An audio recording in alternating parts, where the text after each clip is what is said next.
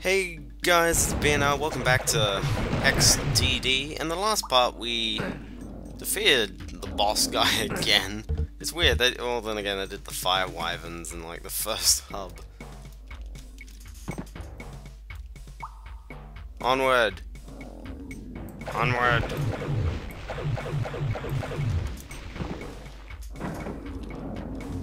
Alright, so... I understand that moving up is like, how do I get back onto it? I looked it up. Apparently, you don't really do any of the other th thingers. Oh, it goes up twice. Just wade through the lava. Oh, what? Oh my gosh, I'm not paying attention. But I will grab the Falcon Shield. Alright, onward. Only goes up three times. So I've got to wait for it to go up once, and then I gotta get onto it the next time.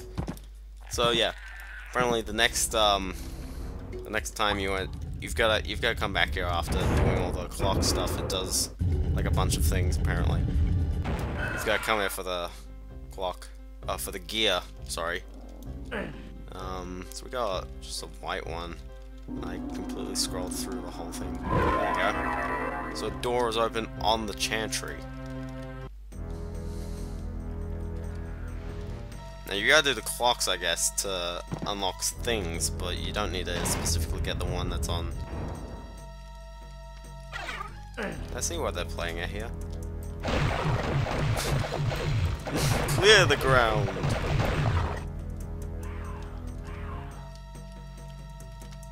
Yeah, um...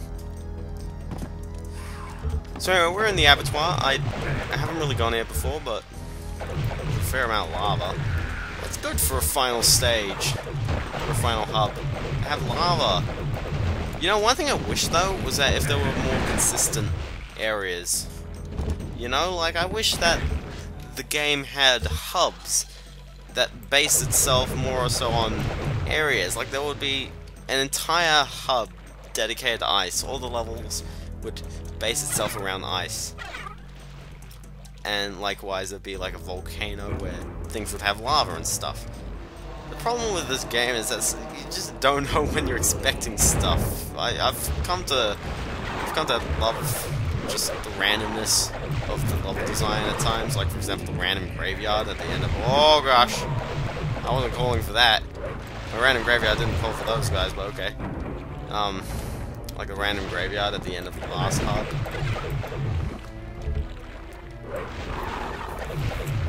Or the, um... I have teleported up here, apparently. Get me down.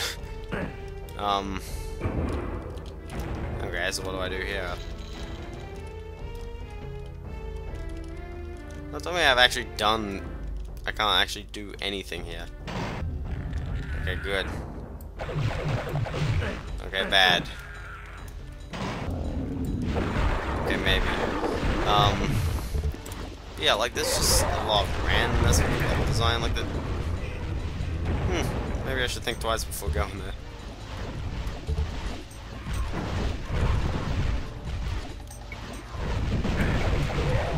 Nah. Oh gosh. So I push the switch.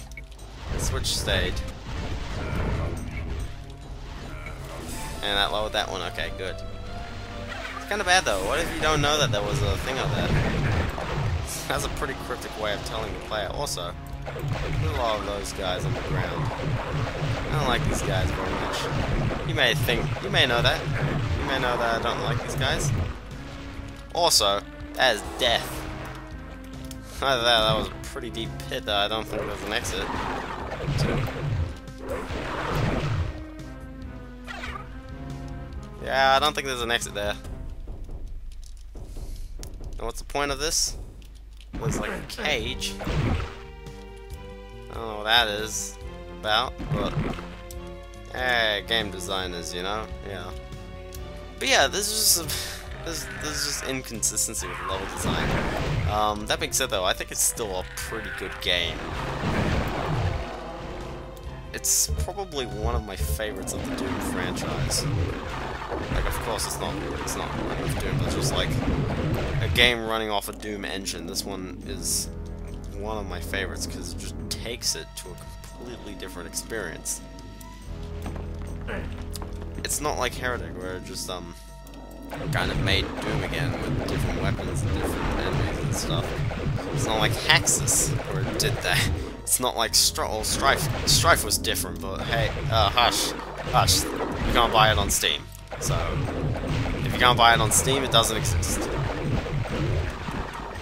Don't know, I haven't made any games in a while, haven't they? nah. Um, it's kind of weird how you can't buy Strife on Steam. It's just something with the public, with the, with the developers. They just can't seem to get a deal. What did that do? That just that had crushy things in all of them. What? Okay. Oh snap! I didn't need one for the past couple of parts, but you made me do it. Game, you made me do it.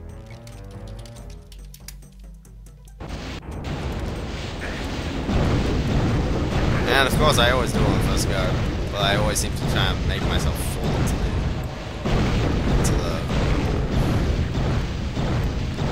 trouble again. Um, switch up there. Now, I haven't seemed to have gotten anything from this, although I've... Although that switch the, yeah, that switch of activated has definitely done something.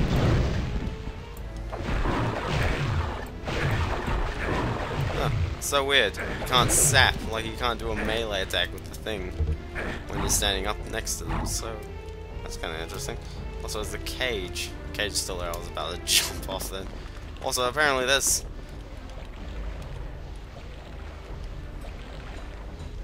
Do you see how there's like a little ledge? Oh, you can go down.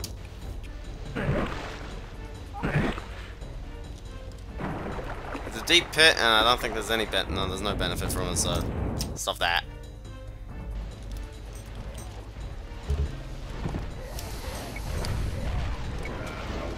So I would like to. Oh, yeah, I would like to get outside from here, but unless if I just open the door from here. Apparently found a way.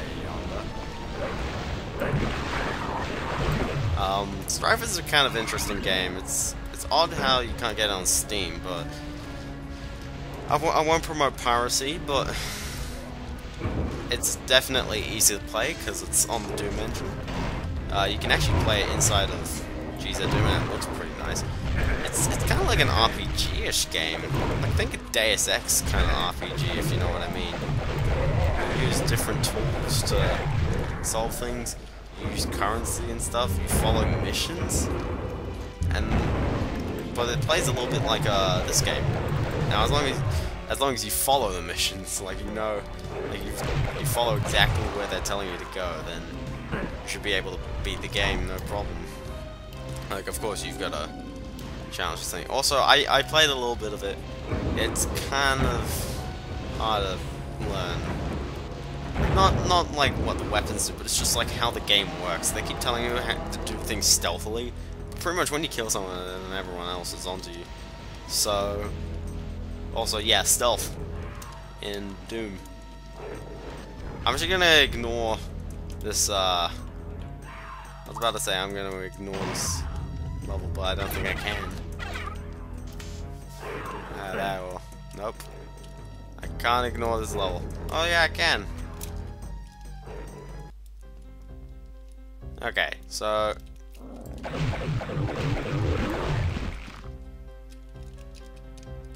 So this just leads back to this place, which means I need to get back to the place across the road there.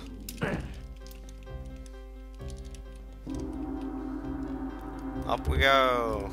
Woo. Okay. So I didn't get a cog from... Oh, I did. Hmm. Okay, I was at the other place, okay. Dang it.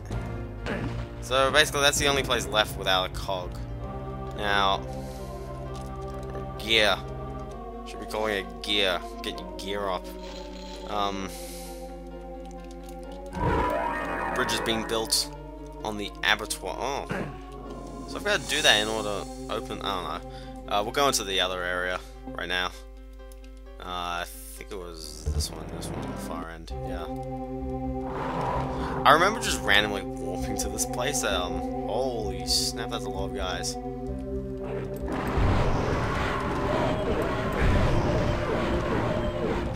I was just going, there's a lot of guys down there, so I'm gonna jump up here, so there's a lot of guys up here. Here we go.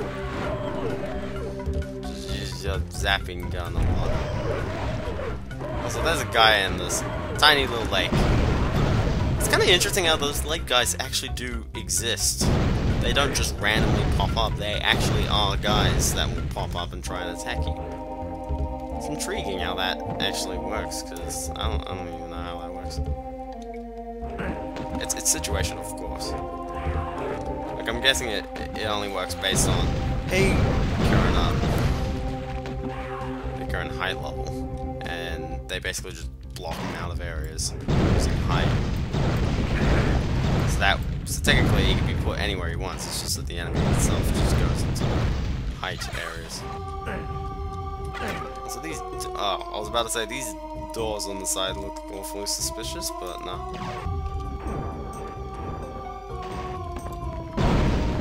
Oh ah, dang face the killer instinct. There's a lot of, I was about to say there's a lot of guys, but either that or it's a pretty short map in that sense. The other one actually seemed a bit longer. Um, I talked about Strife a little bit, yeah, it's, it's kind of interesting. Also, it's got voice acting. The game comes with two WADs. One WAD, one WAD comes with all the game data, and the other one comes with the voices. If you inspect them in a something like I something that inspects WADs. I forgot what the thing is called. Um, you can pretty much play all these voice clips, and I don't know, they're kind of kind of interesting, but they basically just say what some of the lines are. Actually, kind of most of them. No, some of them. Some of them. It's intriguing though. It's it's probably one of the early games that had voice acting, and for 1990, I think it was 996 by this time. But actually, there was a bit of voice acting in video games by that time. But it's pretty interesting to see a game that actually goes for near full voice acting, which is weird considering a lot of games at the time didn't even have voice acting. It took so long before like disc games got voice acting. You know, besides games like Conker's Bad Fur Day. It was kind of interesting. Like, was it a space concern? Why do I keep ending up on this side? I want to go through this door, and get shot in the face by that guy.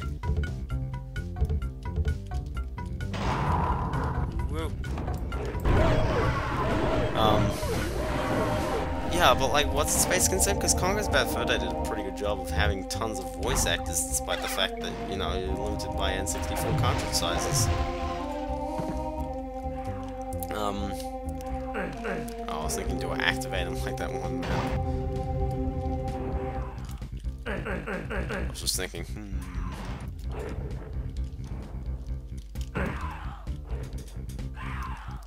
So I went in here. Yeah, I was thinking that.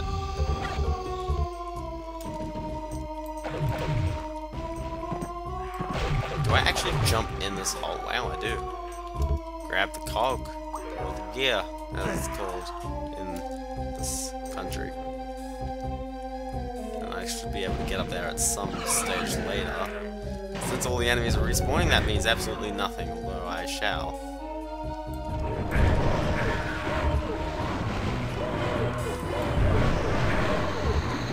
shall obliterate them all. Other than that though, I guess that's it,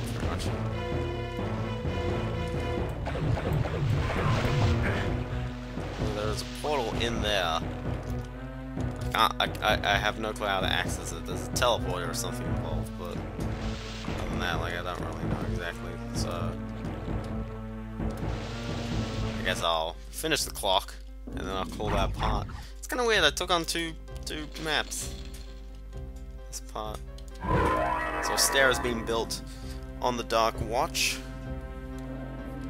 And then I guess since we finished the cog puzzle, I guess we'll go back to Sewer Land. We'll see you kids next time on Hex DD.